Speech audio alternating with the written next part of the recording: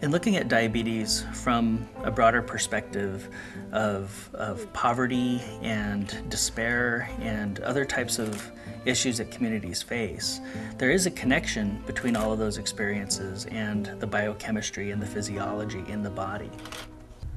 She used to live here. She used to make baskets. In here? Mm-hmm.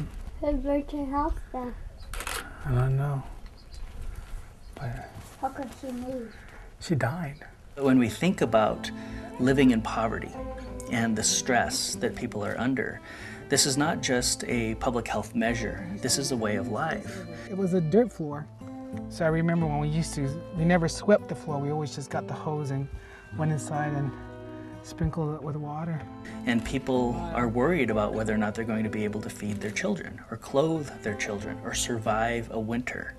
Also, in American Indian populations, we have higher rates of other types of terrible diseases and problems, things like infant mortality. And what a lot of us observe is that these terrible things that happen in terms of the health of a, of a family and a community have an impact on the entire community. And we see things like more self destructive behaviors, more alcohol and drug intake. Probably somebody drinking and they got out of hand, probably smoking or something. Were they in here?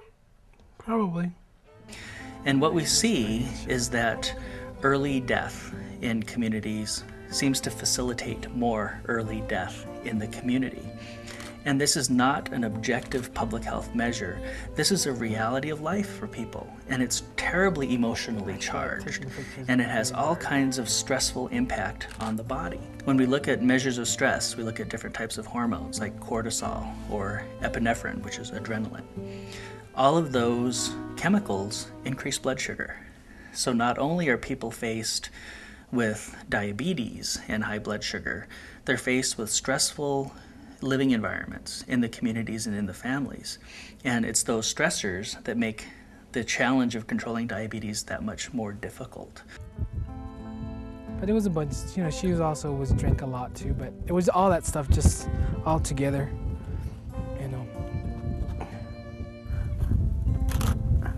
So there is a direct biochemical connection between the trauma that people face living within a culture of poverty and blood sugar control. And we have to be cognizant of that when we're looking at trying to manage these types of diseases in impoverished communities. But even beyond the cultural differences in beliefs and values, there's also differences in the availability of things like healthy food.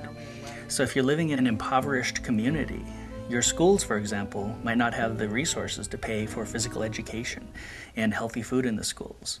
And perhaps they use things like vending machines to try to raise money. So there's a lot of other competing agendas. Just because these children are born into impoverished communities does not mean that they should have to choose between health and education. And that's essentially the circumstances that we put the communities in.